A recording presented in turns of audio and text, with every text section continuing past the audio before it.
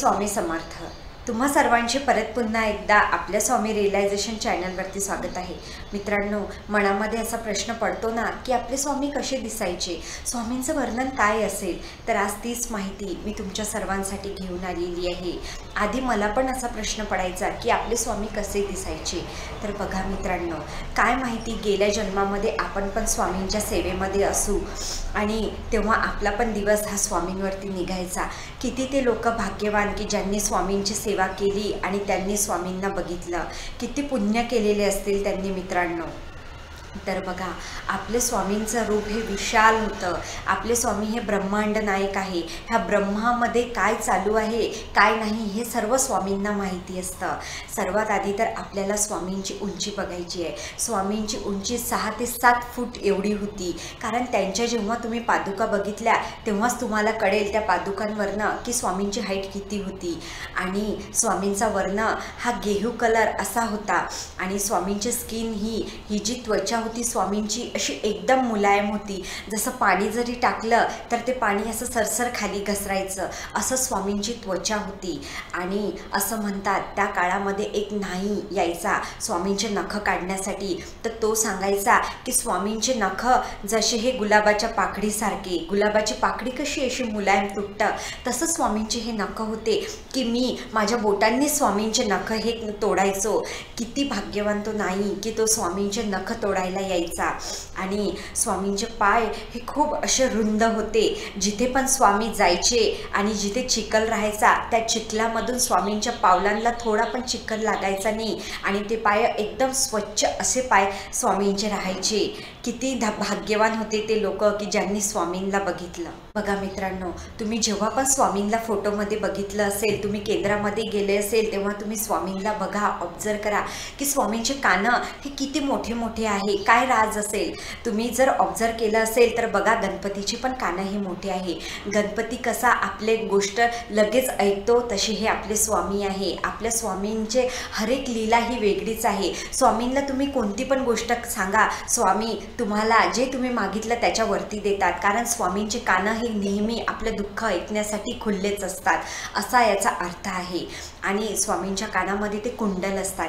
जेव्हाही स्वामी त्यांचे जेव्हा पण र रथ निघायचा. म्हणजे स्वामींची स्वारी निघायची तेव्हा स्वामी हसायचे तेव्हा हे कुंडल पण त्यांच्यासोबत डोलायचे म्हणजे कुंडल पण हसायचे. असे स्वामींचे वर्णन केलेले आहे. तुम्ही सारा अमृतमध्ये बघितलंच असेल स्वामींचं वर्णन की स्वामींचा हा गेहू कलर होता आणि स्वामी हे जेव्हा चालायचे ते लहान मुलासारखे चालायचे आणि ते जेव्हाही बोलायचे त्यांच्या मुखामधनं आपल्याला असं कळायचं की स्वामींना आपली किती काळजी आहे. स्वामी जेव्हा असे पडायचे आणि त्यांना तिथे झाड दिसो दगड दिसो त्याच्यावरनं ते हात फिरवायचे मायेने हात फिरवायचे कारण स्वामी आपली आई आहे ना त्यांना निर्जीव असो या सजीव असो सगळ्या ह्या पृथ्वी तलावरती सगळ्यांची काळजी होती. आणि स्वामी त्या दगडाला आणि झाडाला विचारायचे काय माय तुला काही पाहिजे का?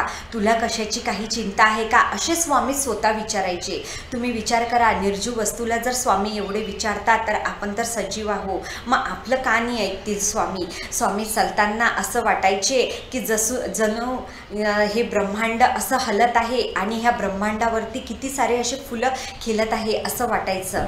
बघा मित्रांनो स्वामींची हाईट तर तुम्हाला कळलीच. मी सांगितलेलं आहे सात साडेसात फूट ही एवढी होती आणि स्वामींची बोटं ही एकदम लंबी लंबी होती. जणू ह्याच्यामध्ये भरपूर काही विश्व होतं आणि स्वामींचं पोट म्हणजे जे स्वामींचं हे पोटाचा आकार होता पूर्ण गोल होता पृथ्वी तलावासारखा स्वामींच्या पोटाचा होता की त्याच्यामध्ये पूर्ण ब्रह्मांड समावलेलं होतं. असं स्वामींचं वर्णन आहे. आणि स्वामींचा चेहरा हा एकदम लखलखीत चमकत्या दिव्यासारखा होता. आणि जसे चांदणे कसे चमकतात तशा स्वामींचा चेहरा चमकायचा. आणि स्वामींचे नाक हे एकदम असे सरळ होते. स्वामींचे नाक आणि कपाळपाटली एकदम अशी उच्ची होती. आणि स्वामींचे डोळे जसे आपल्यासोबत काही बोलत आहे तुम्ही जेव्हा पण केंद्रात गेले असाल तर तुम्ही बघितलं असेल की तुम्ही जेव्हाही स्वामींच्या फोटोकडे बघा तुम्ही ऑब्झर्व करा. मी तर केलेलं आहे. तुम्ही पण ऑब्झर्व करून बघा की असं वाटतं की स्वामी आपलं दुःख ऐकतायत आणि स्वामी आपल्याशी बोलत आहेत. मला तर असंच वाटतं. मी नेहमी जेव्हाही स्वामींना बघते माझ्या घरच्या फोटोमध्ये पण मी स्वामींना बघते तर मला असं वाटतं की स्वामी मला विचारत आहे की बाळा तुला काही पाहिजे का? असे स्वामींचे डोळे बोलतात.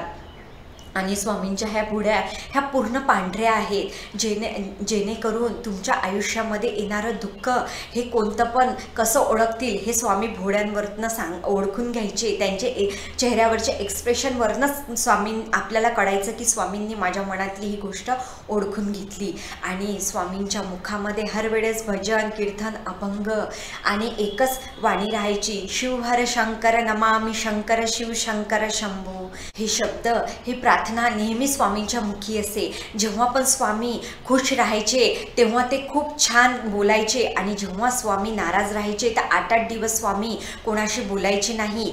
आणि स्वामी असे होते की जेव्हा पण स्वामी असे दुःखात राहायचे कोणाचं ऐकायचे नाही काहीच नाही तेव्हा स्वामी अन्न आणि पाणी काहीच ग्रहण नाही करायचे.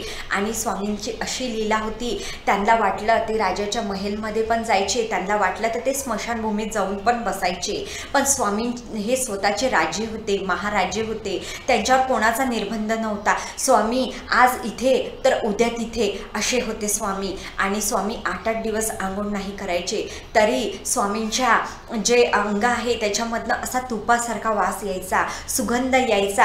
आणि जेव्हा स्वामी कधी कधी आंघोळ करायचे तर ते एका दिवशी चार चार तीन तीन वेळा सुद्धा आंघोळ करायचे. कारण स्वामींच्या स्वामी स्वतःचेच राजे होते तर स्वामींना कोणीच टोकू नव्हतं शकत होतं. कारण स्वामी कडक कडक रूपी होते. कडक त्यांना जर कोणी खोटं बोललं तर हे खपत नव्हतं. आणि स्वामी जेव्हा स्वामींच्या दरबारात लोक जायचे तेव्हा स्वामी दुरूनच ओळखून घ्यायचे की माझ्या भक्ताला काय पाहिजे आणि काय नाही. तर स्वामींना बेसनाचे लाडू खूप प्रिय होते. चोडप्पांच्या हातांनी जे बनलेले लाडू होते ते स्वामी नेहमी खायचे. पण स्वामींना जर कळलं की चोडप्पांनी काही ना काही चूक केलेली आहे तर स्वामी ते लाडू ग्रहण नाही करायचे. आणि जेव्हा पण सेवेकरी लोक स्वामींना भेटायला जायचे स्वामी जर डोळे मिटून जरी असले तरी स्वामींना कळायचं की माझ्या कोणत्या सेवेकरीला मला काय द्यायचं आहे? आणि त्यांच्या मनामध्ये जर आलं याला मला दर्शन द्यायचे नाही तर एक एक महिना ते त्यांना दर्शन नाही द्यायचे. पण मग जेव्हा द्यायचे त्याचं फळ हे वेगळं आणि निराडच राहायचं मित्रांनो. आणि आपले स्वामी सगळ्यांचं सुख दुःख ओळखून घ्यायचे. त्यांच्या शरीराचा हरेक हा भाग काही ना काही आपल्याला संकेत देत असतो. ते असे होते की त्यांचे वर्णन शब्दामध्ये होत नाही मित्रांनो. तुम्ही ज्या रूपामध्ये स्वामींना फोटोमध्ये बघता त्या रूपामध्ये स्वामी तुम्हाला दिसतात. तुम्ही लक्ष्मीच्या रूपात दिसलं बघितलं तर तुम्हाला लक्ष्मीच्याच रूपात स्वामी दिसतील. तुम्ही बाल रूपामध्ये जर स्वामींना बघितलं तर तुम्हाला बाळ रूपामध्ये गोपाळकृष्णाच्या रूपामध्ये पण स्वामी दिसतात. आजच्या ह्या कलियुगामध्ये स्वामींनी तिसरा अवतार घेतलेला आहे. विष्णूचा अवतार म्हणून स्वामींना ओळखलं गेलेलं आहे. आणि आपल्या स्वामींच्या पोटामध्ये असं भरपूर ब्रह्मांड हे सामावलेलं आहे आणि स्वामींना आपलं सुख दुःख हे सर्व काही कळतं मित्रांनो. आणि जेव्हा स्वामींची स्वारी निघायची तेव्हा स्वामी एवढे जोऱ्याने चालायचे की जे त्यांच्यासोबत होते भक्त ते थकून जायचे. कारण स्वामींला स्वामींना कोणीच काही पकडू नाही होतं शकत. कारण स्वामी हे असे चालायचे. स्वामींची लीला अगाध होती. स्वामींच्या कोणत्या पण गोष्टीमध्ये काहीच तथ्य लोकांना कळत नव्हते की स्वामी आता खुश आहेत आणि नंतर नाराज आहे. पण स्वामींना सगळं कळायचं की माझ्या दुःखाला माझ्या भक्ताला काय पाहिजे आणि काय नाही पाहिजे. आणि सतत स्वामींच्या मुखामध्ये एकच शब्द राहायचा शिवशंकर नमामी शंकर. मी तुम्हाला मगाशीच सांगितलं कधी ते अभंग म्हणायचे कधी काही म्हणायचे. आणि स्वामी आता इथे तर तिथे असे एका जागी स्वामी कधीच राहिलेले नाही आहे ज्यांनी स्वामींना बघितलं ते खूपच जास्त भाग्यवान होते. त्यांना त्यांचं म्हणजे एवढे ते भाग्यवान होते की मित्रांनो आपण सांगू नाही शकत की किती पुण्य त्यांनी केलेलं आहे. आणि आता आपण पण स्वामींची सेवा करत आहे तर आपण पण खूप जास्त भाग्यवान आहे कारण आपल्याला स्वामी लाभलेले आहे. आजची स्वामींची माहिती स्वामींचं वर्णन तुम्हाला कसं वाटलं? मला नक्की कमेंट बॉक्समध्ये सांगा. अशा छान माहिती आणि मी अनुभव तुमच्या सर्वांसाठी घेऊन येत असते.